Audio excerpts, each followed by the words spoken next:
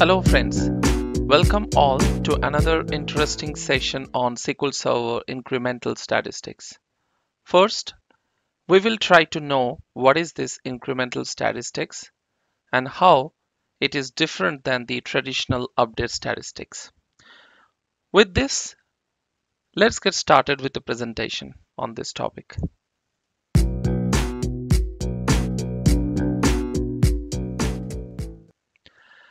What is this incremental statistics? Now starting with SQL Server 2014, Microsoft offered another great feature called incremental statistics. If you need to update the statistics on a very large table with a full scan mode, it may take forever to finish. Due to that reason, it diminishes the performance and also client confidence reduces because being a DBA, he cannot actually understand by any way how long it will take to finish. I mean the update statistics. Keeping that as an area of concern, uh, Microsoft introduced this feature and uh, through these partitions will be created on the and uh, through these partitions will be created in the tables and uh, whichever partition we want we can just run the update stats on that partition alone previous all versions didn't have the flexibility and instead that the only choice which was available was nothing but to run a full scan, which is obviously we know it, it takes a very long time. With this, let's move on to a demo session to explain this feature well.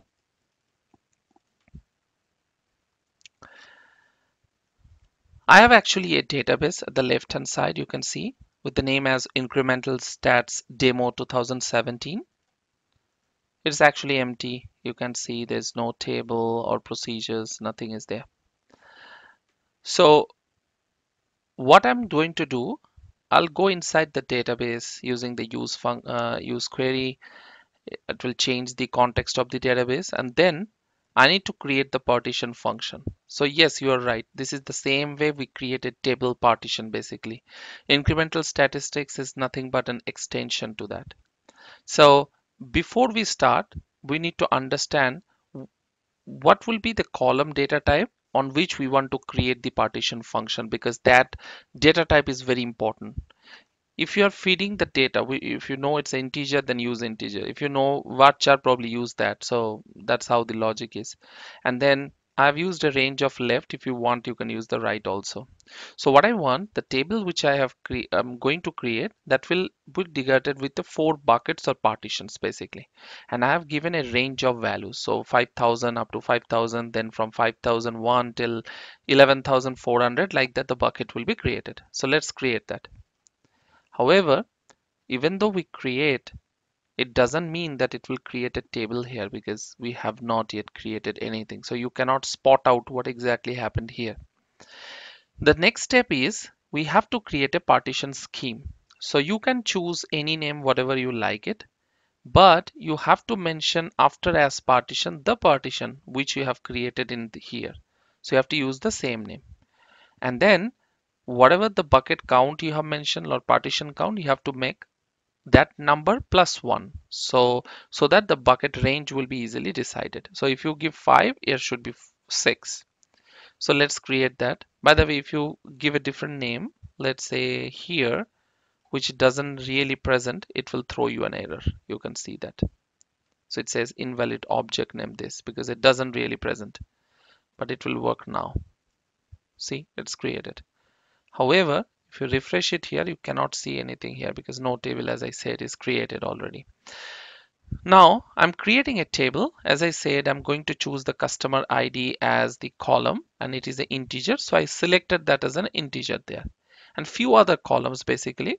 So those all details I have taken from uh, the database uh, Adventure Work 2014 sales and customer. So let's go there if you scroll down you can see this table.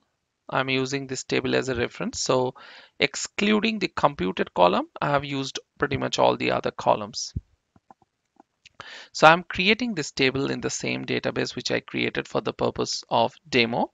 But you have to in, in, in the normal case what you do you have to mention the file group where you're doing. But in instead you have to mention the scheme name whatever is created here and the column at the same time in brackets. So let's go ahead and create it. So it's created. Now if we come to the database and if we refresh then we can see the database which is created. Now the next step is populating the records. So from the same table which I shown you it has I, I think it's more than 31,000 records. I'm inserting the records where it is less than 10,000 the customer ID so let's go ahead and insert. So it's actually inserted 701 rows. Now let's see using the partition table how the split of the records are. So let's move it up. And you can see that 701 records which are populated those are all sitting in the first partition. Other partitions are completely empty. There's no data because I have not yet used this function to split the records okay? The next step is I'm creating the statistics. So this is the same syntax which we have used for the regular uh, the regular statistics. Only difference being it should be incremental equals to on because we are turning on the incremental statistics feature okay? Now let's so now if you expand it and if you come to statistics it's empty. So let's go ahead and create it. So it's created let's refresh. It's actually created. Okay. Now let's move on with the show config now if you right click and come to the properties you can see that this is the, the it's in a GUI fashion. If you come to details, you can see the details of the indexes, which we are going to see here.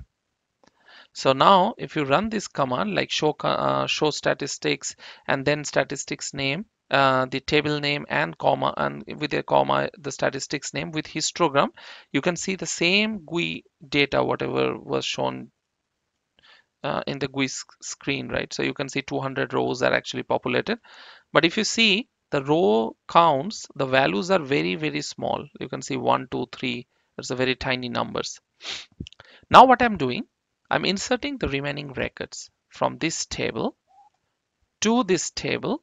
But here the customer ID are greater than 10,000. So in the previous step, I inserted the records which are less than 10,000. I'm from more than 10,000 till the end. So let us insert all the record. So you can see 19,119 records are inserted. Now let us see with the same sys partition table what is that so yes the data has been split you can see based on the bucket condition we have mentioned right but now from 200 records it came up to just five because we have created the five entries before with this if you want to see do a update statistics now. Now you can see that if you want to do an update statistics, you can easily do by giving specific partitions where you want. So let us run that with a time statistics, the function on. So you can see it's actually 121 milliseconds. So let us copy that. By the way, it will continue to change in your in your machine. It will be different. In my machine, it will be different.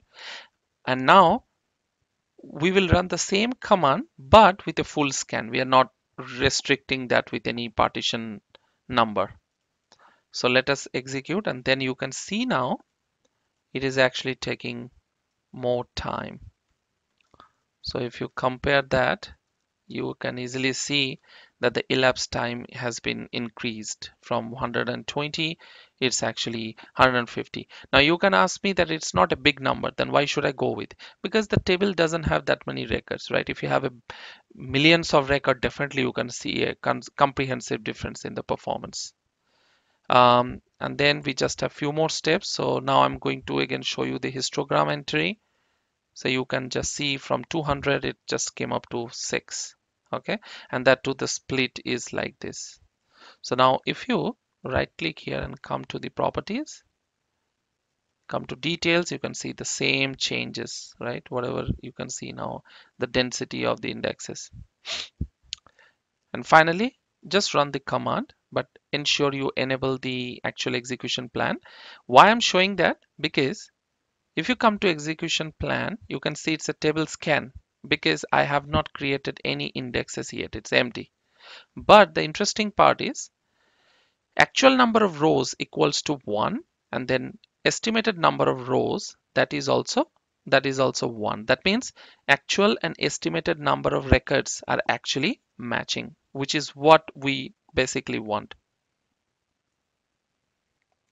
so you can see a little variation though estimated number of rows it says 1.000354 which is equivalent to 1 but theoretically these are very close. The more the actual and estimated records are matched that means you have a good statistics. Your SQL server is using the proper statistics function to find the correct route for the data right?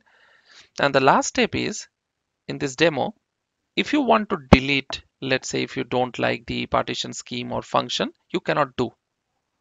So you can see there's an error. Let's say if you try this too then also it's an error. So first you have to drop the table and then only you have to delete these two function and the scheme respectively. Otherwise it doesn't allow. All right? So with this let's go back to um, the summary page uh, in our discussion.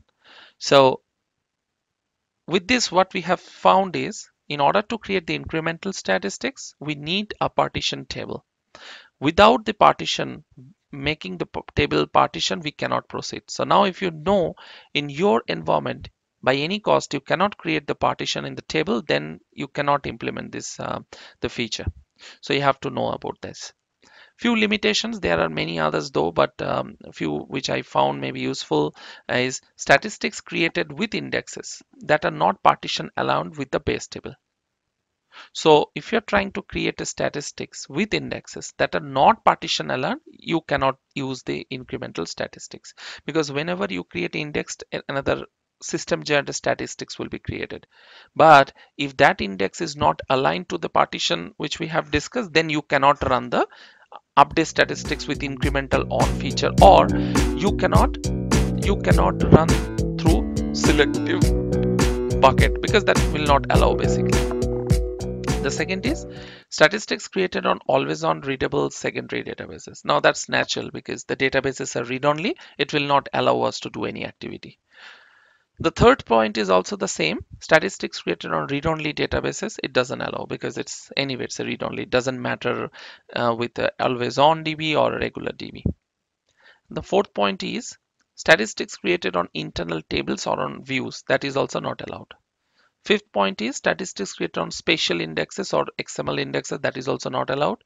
And the last point is statistics created on filter indexes. That is also for now not allowed few of the uh, useful references page you can always hook on to those sites for more details if you like. I'll mention them these details into the description section uh, right below the video.